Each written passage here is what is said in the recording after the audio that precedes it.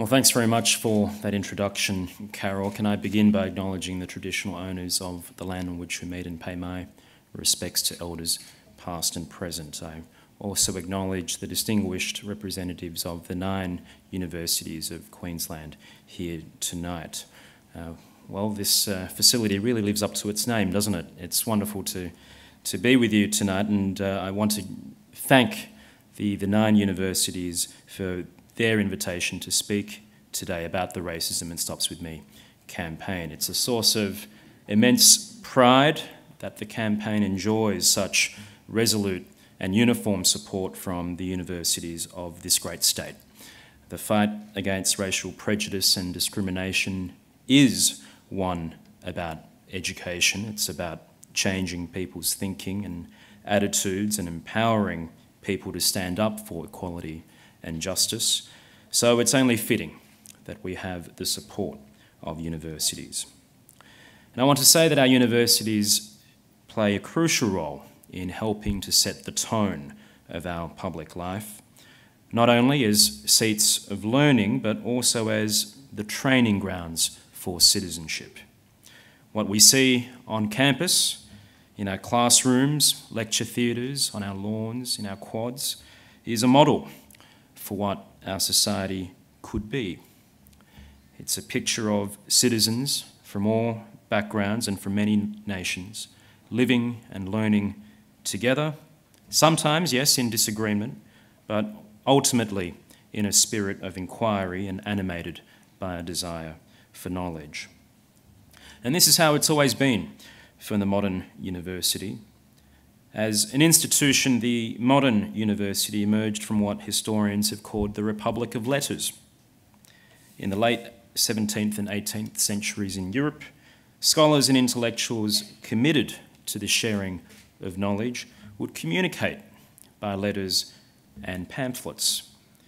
Literary and scientific academies were founded in the great European cities, Paris, London, elsewhere.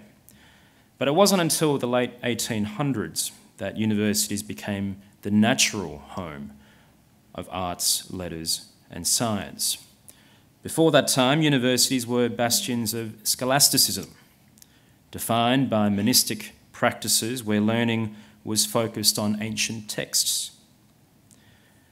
As Glyn Davis has described it in his Boyer Lectures of 2010, it was the Republic of Letters that encouraged universities to become lively, questioning institutions, concerned less with arid, abstract contemplation and more with how we should live.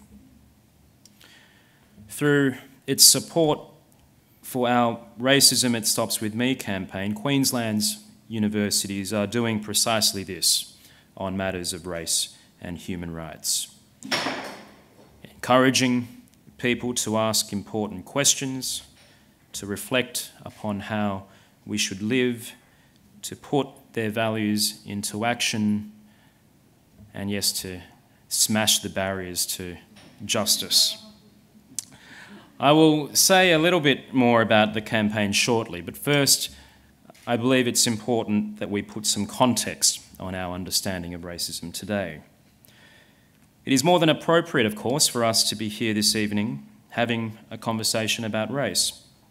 The Saturday just passed, the 21st of March, marked the International Day for the Elimination of Racial Discrimination. Many of you, I suspect, might know the day better as Harmony Day. It's a day devoted to celebrating our cultural diversity. Schools mark Harmony Day with cultural festivals and performances. And increasingly, workplaces are encouraging people to share dishes reflecting their cultural heritage, to indulge, as it were, in a taste of harmony. Some of you may not know the background to Harmony Day. It was first marked in Australia in 1999, a time when Hansonism was still a political force, challenging the consensus on immigration and multiculturalism. Though there'd been an election pledge to introduce a national anti racism campaign at the time, the then federal government opted to pursue a softer approach, hence the emphasis on cultural harmony. But it was feared at the time that many Australians would push back against any campaign that explicitly sought to tackle prejudice and discrimination. Now, I think it's worth remembering some of this because there is, in my view, a very Australian way for us to talk about race. Often we talk about it in a way that averts the very mention of race. And this is because talking about race can seem to divide public opinion. There's certainly a pattern in the way that racism can be discussed or debated. Whenever bigotry, prejudice, or discrimination is revealed on the national stage, all of us can agree. We would never dream of endorsing it. We can all say, hand on our hearts, that racism is abhorrent. But before long, doubt emerges. Someone inevitably will ask Is Australia a racist country? Is this evidence of some essential racist character, some ineradicable racist stain in Australian society? Often the response to such questions is that of parochial defensiveness. According to this stance, Australians aren't nearly as racist as others around the world. We should, it's argued, reserve the word racism only for those instances when there has been racial violence or professions of racial superiority. Moreover, we're entitled to take offence when racism is alleged for racism is the lowest judgment you could ever make of another person's character. For the parochialist, to contemplate charging that a fellow Australian is racist is a mark of someone who likes to think the worst of their own country and compatriots. On the other hand, there's the path of self flagellation. This is the position of those who believe that Australian nationhood is inseparable from racism. It's asserted that even modern sensibilities can never obliterate the old biases and assumptions rooted in notions of racial superiority. On this view, national myths about fairness and egalitarianism, and about the happy harmony of multiculturalism, merely serve to conceal the true nature of the national psyche. So long as there is an Australian national identity, so the argument runs, there will be racial exclusion. The only way to overcome this is to renounce nationalism in all its forms. Instead, let us embrace a cosmopolitanism in which people belong to a single community based on their common humanity. There's an alternative to these two extremes. After all, why should we accept the premise of questioning whether Australia is a racist country? Such a question may just miss the point. Every country is going to have its bigots, its prejudices, and its problems with discrimination. It's unhelpful, surely, to turn every incident involving racism into a test demanding of us a wholesale judgment about the Australian national character. A more objective view would recognise that today's Australia is largely free from the racial tensions and discrimination that afflict other societies. We should be able to take pride in our achievements as a multicultural immigrant society since the demise of the white Australia ideal. Other places, like the United States and Britain, may have periodic race riots, but such episodes here are rare.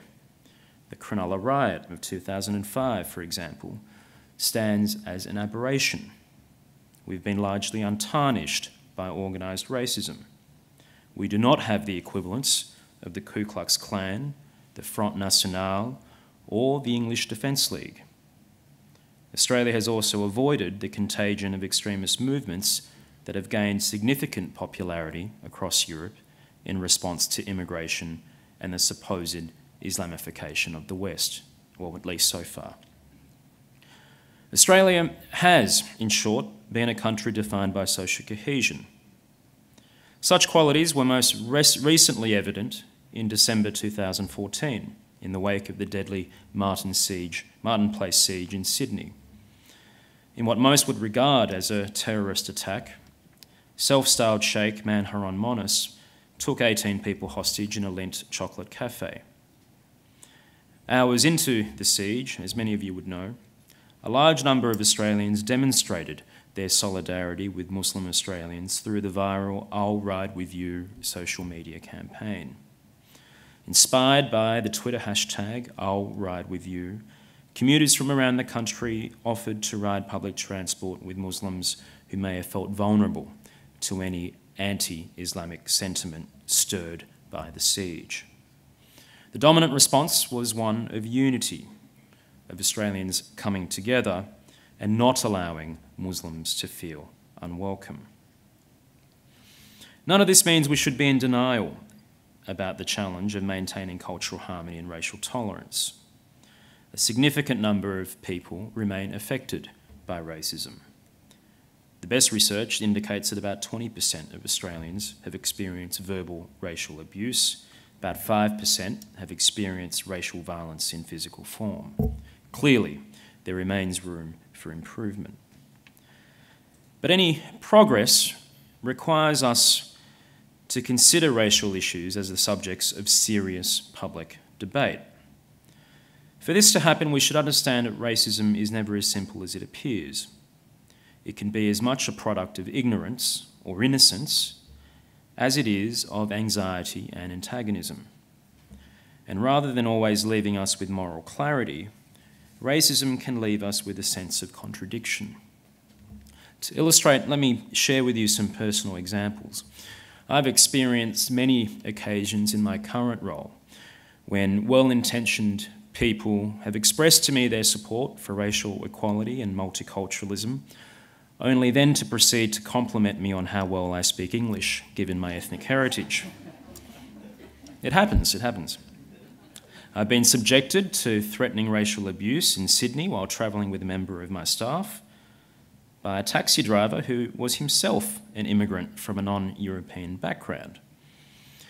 A few years ago in Canberra, within the space of a few hours, I went from feeling patriotic pride while attending an Australia Day event to being taunted by a car full of flag draped youths making slit eyed gestures while jeering, Go home.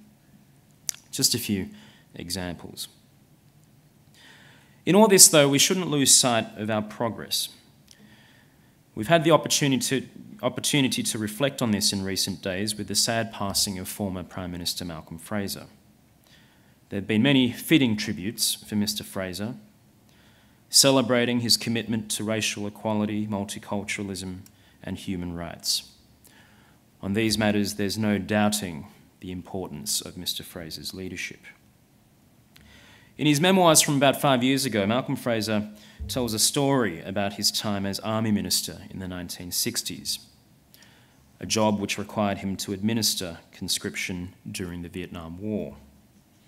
In a hotel bar in his Victorian electorate of Wannon, Fraser was upbraided by a constituent whose son's number had come up in the draft. Nine months later, in the same pub, the same man would confront him again. This time, the man's son had married one of them, a Vietnamese. Mr. Fraser would return a few months later yet again, and the man would accost him once more. Only this time, it was because he wanted to buy Mr. Fraser around. His son had brought home his new Vietnamese bride. And I quote, this is what the man said to Mr. Fraser That girl, she's the best thing that ever happened to our family. Now, it's always dangerous to reduce a political career to a single event or issue. Indeed, for a long time, many were ambivalent about the legacy of the Fraser, Fraser Prime Ministership because of the 1975 dismissal. Though this became less so with the friendship that Mr. Fraser would form with Mr. Whitlam in their later years. Yet the episode in the pub in the Western District described by Mr. Fraser was something that prefigured many of the changes in Australian society that would occur as a result of his period in office. The political historian Robert Manne writing one of the many articles about Fraser last Friday, described it best. The central achievement of Fraser as Prime Minister was that he had normalised the most significant cultural achievements of the Whitlam government in the fields of ethnicity and race. It was, for example, Whitlam who began the movement that would lead to Indigenous land rights, but it was under Fraser that land rights legislation would first be passed. Whitlam, as Prime Minister, was responsible for concluding the work of dismantling the White Australia policy and for making the first embrace of multiculturalism. Yet it was only under the Conservative Fraser government that the old Australian ambition to assimilate migrants to an Anglo Celtic norm was finally and definitively abandoned. Indeed, it was Fraser's decision as Prime Minister to accept, in the late 70s and early 80s, close to 70,000 refugees from Vietnam, Cambodia, and Laos uh, that made multiculturalism what it is today. Per head of population, Australia took in the largest number of refugees in the world. Until that point, there had been no significant influx of non European immigrants in Australia, at least not since the 1800s.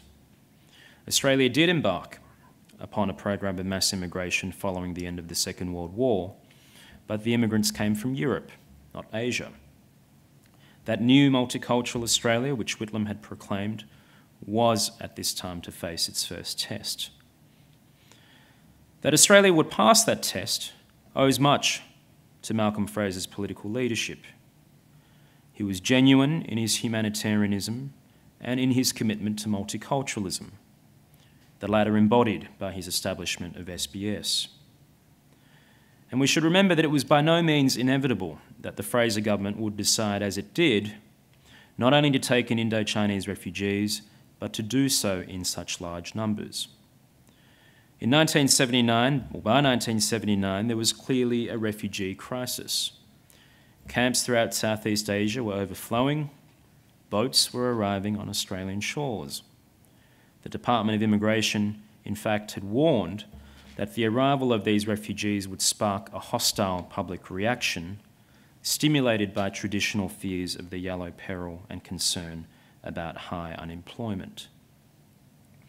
A politician more inclined to follow public opinion than to lead it may well have opted for a different course. In 2013, I had the opportunity to interview Malcolm Fraser for the documentary that I made for Radio National. I asked him about his reasons for embracing multiculturalism. Here's what he said He said, I believed we had no option no alternative. We couldn't live as an Anglo Saxon outpost in this part of the world. And I thought the days of isolation, of exclusivity, were just past. And I thought that sort of attitude was wrong. It was reminiscent of colonialism and a sense of superiority which was totally and absolutely misplaced.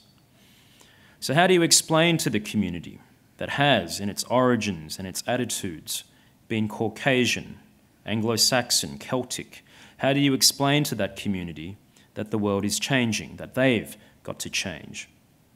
You talked about multiculturalism, about a stronger country through diversity, respect for all people.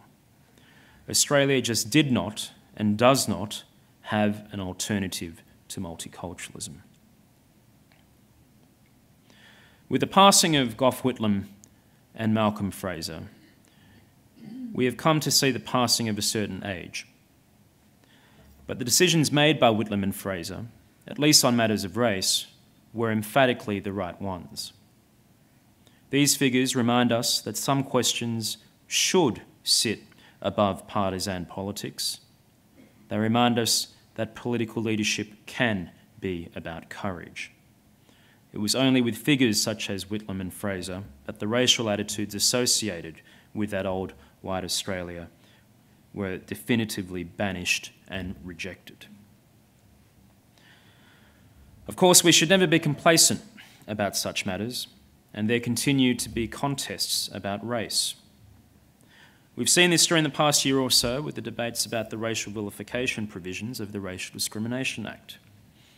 As most of you would know, the federal government last year had proposed repealing Section 18C of the Act, section which makes it unlawful to offend, insult, humiliate, or intimidate others because of their race. As I've mentioned, debates about race can often divide more than unite.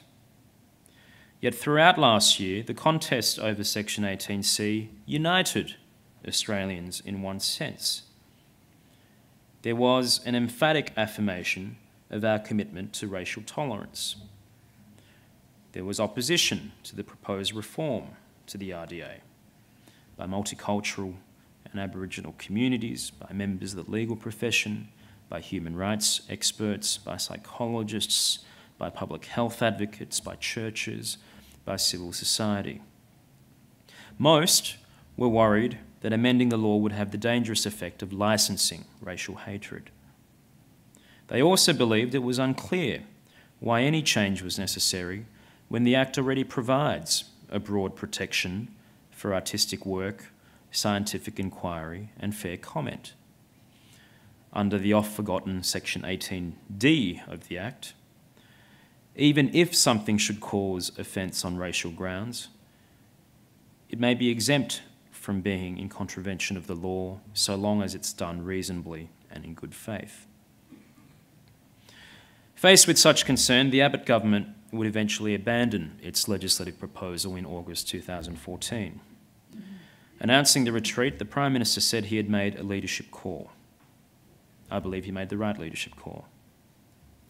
The issue was briefly revisited this year in January following the Islamist massacre of staff at the satirical magazine Charlie Hebdo in Paris, some commentators called for an urgent reconsideration of Section 18C. It was argued that whether magazines' provocative cartoons about the Prophet Muhammad and racial groups to be published in Australia, it would be banned or shut down because of the Racial Discrimination Act. Let me make this clear. These arguments are simply misleading. While the Racial Discrimination Act covers the attributes of race, and that includes colour, ethnicity, and national origin, it says nothing about religion. Conduct that offends people on religious grounds is beyond the scope of the legislation.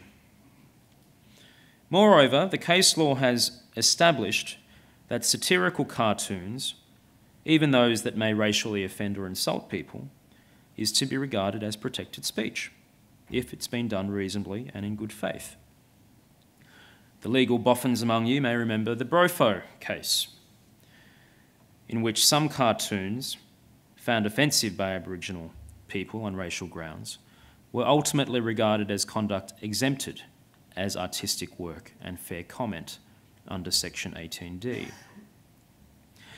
In any case, the federal government in January this year did quickly reject calls for the Racial Discrimination Act debate to be revisited. The Prime Minister confirmed that there would be no changes. It remained his government's position that it would not proceed with a repeal. Taking a step back, we can all agree on some things. The public debate about the Racial Discrimination Act has been intense. At times, it has also involved some inaccurate depiction of the legislation. It's remarkable, for example, to find the frequency with which commentators have referred to people being prosecuted or charged under Section 18C. This makes little sense when the Act only provides for a civil protection against racial discrimination and vilification. Put very simply, you cannot be charged or prosecuted under Section 18C. All that the law means is that someone may complain about unlawful conduct, but in the first instance, this means only that the Australian Human Rights Commission will investigate and attempt to conciliate the matter between parties. It would be timely, though, for our community to reflect upon the broader significance and impact of the RDA.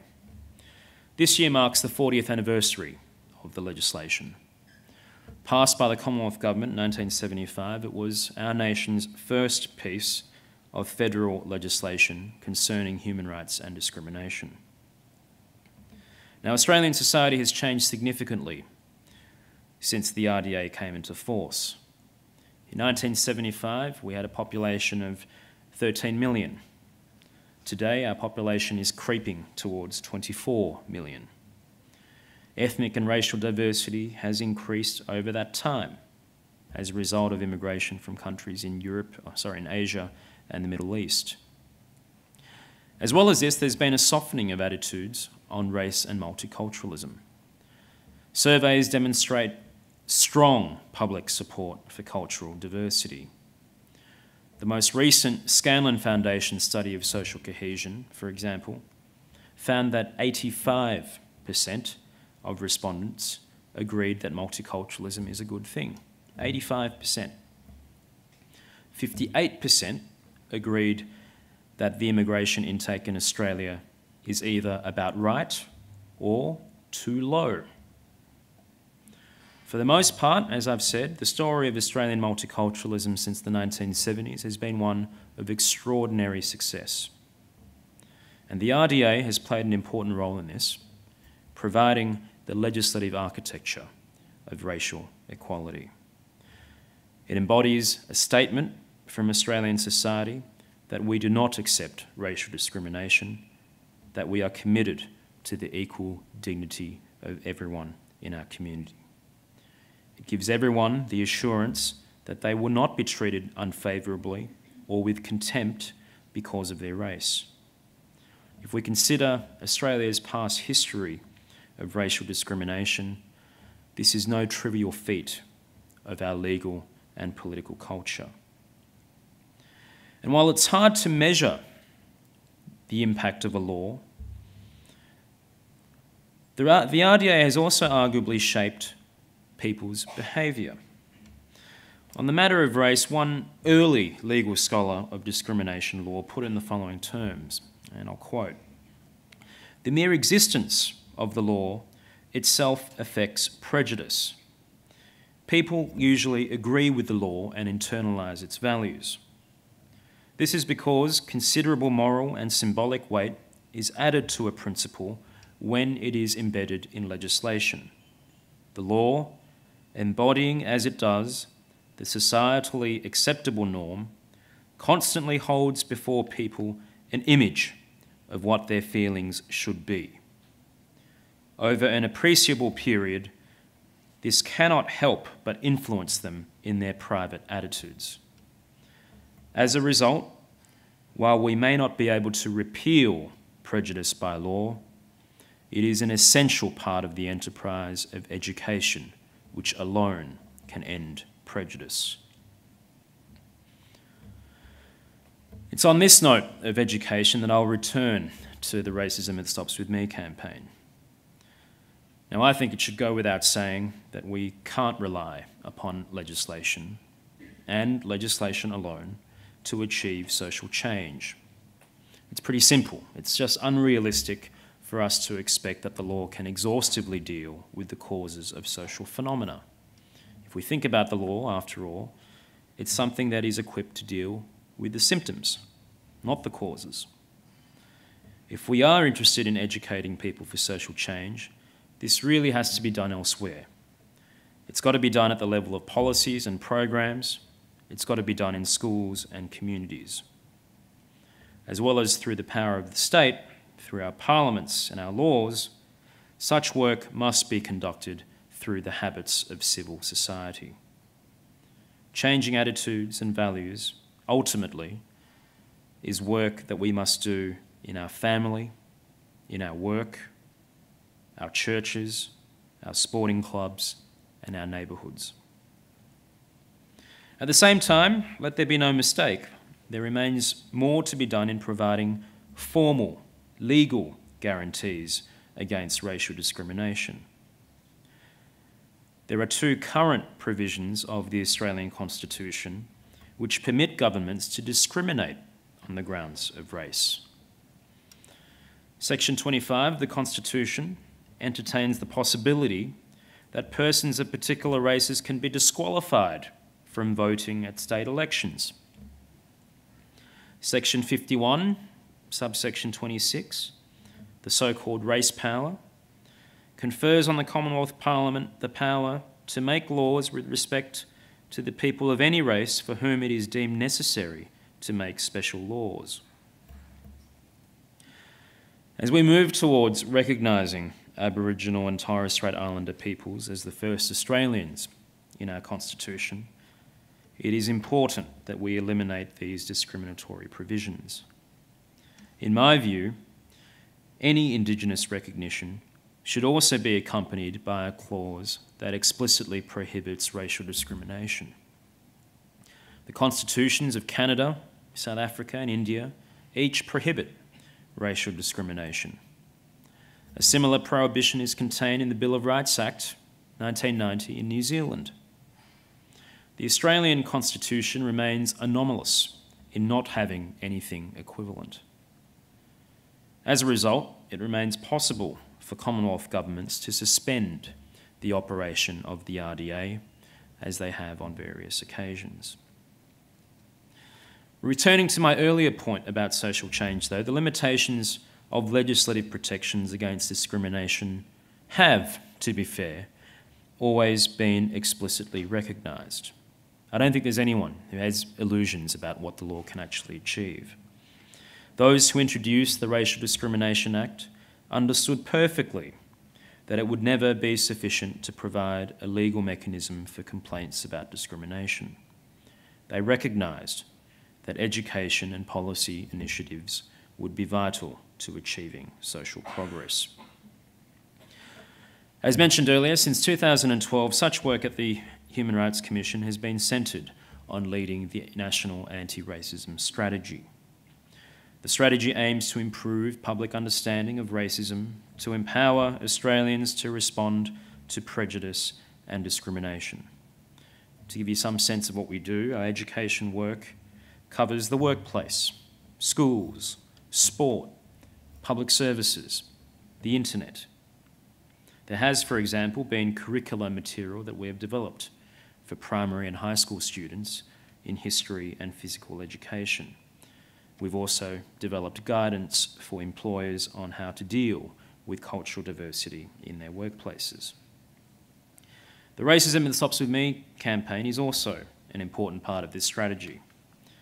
It invites individuals and organisations to take a pledge in standing up against racism.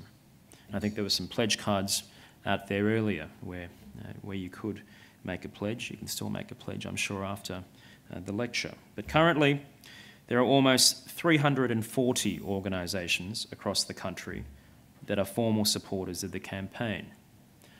One of our ambassadors is the AFL footballer and Australian of the Year for 2014, Adam Goodes. The things that our supporters do varies. Some supporters express their commitment through public events. Some use the campaign as an opportunity to begin change within their organisation at the level of policy. We don't prescribe what support for the campaign must mean. It's important that each organisation does what is right for them. And that's because organisations will join the campaign for different reasons. Some organisations join because of local incidents involving bigotry and hatred. In country Victoria, for example, Bendigo Council supported the campaign as part of the community's response to anti Muslim protests over the building of a mosque in the town. In the case of Ventura Bus Lines, the company responded to a much publicised incident on one of its buses in Melbourne, where a passenger racially abused and threatened another passenger who had been singing in French. As part of its support for the campaign, the company introduced new training for bus drivers about how to deal with racist abuse. Others, such as the 26 universities across the country who are campaign members, join because they believe it is a powerful way to build a more welcoming atmosphere within their organisation. Whatever the context, membership of the campaign is one way of expressing public commitment to racial tolerance and cultural harmony. The efforts of the campaign, however, underline one thing it is crucial, vitally crucial, that we consider our personal and organisational responsibility to stand up to racism and to make our communities better places. When racism occurs, it does damage, it does harm, not only, and, not, and not only to feelings. It does harm to the freedom of individuals who experience it. It does harm to our society and to our values. Every time an act of prejudice or discrimination goes unchallenged, there is the danger that someone may feel empowered to deal out more of it. We're faced with some particular challenges today on race. There are signs, sadly, that some extremist groups are feeling emboldened to spout their messages of hatred and division. While organised racist movements have largely operated as fringe or underground operations, there are signs that they are becoming more confident, with their presence becoming more visible, both online and offline. There's been a recent rise in anti Semitism, including, unfortunately, it would seem, within some university campuses. Anti Muslim sentiments have also intensified, often taking on a racial tinge. More generally, there remains the challenge of resisting complacency. Casual and everyday forms of racism may appear to some of us, at best, to be niggling complaints about a joke or about an offhanded remark here or there. The subtle sideways glances or the soft bigotry of low expectations may appear to some of us unworthy of our attention. But if we're not careful, we can be in for some trouble. Prejudice and intolerance can quickly escalate. Low level racism may sound benign, but it can give license to something more serious. Racism needn't involve a nasty incident of abuse on public transport before it is to be considered racism. And fighting it can more often than not mean having an important conversation with a friend or someone in your family as opposed to confronting that hostile, uh, angry stranger in a public place. Wherever racism occurs, fighting it is not easy. But as someone once said, life wasn't meant to be easy. And that is all the more cause for us to stiffen our resolve and join in saying that racism stops with us. I thank you for your support in countering racism. Your work in our universities reminds us that in achieving social change, we must necessarily rely on good citizens and not simply on good laws. Thank you very much.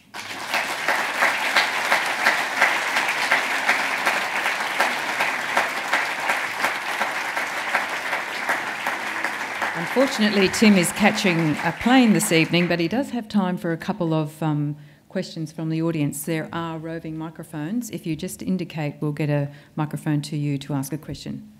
Stand here.